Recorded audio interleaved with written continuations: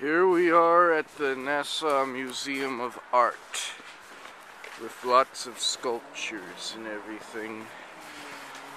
It's pretty interesting around huh? Yeah? What, what is it? Oh, I thought we were going this way. Oh. Careful.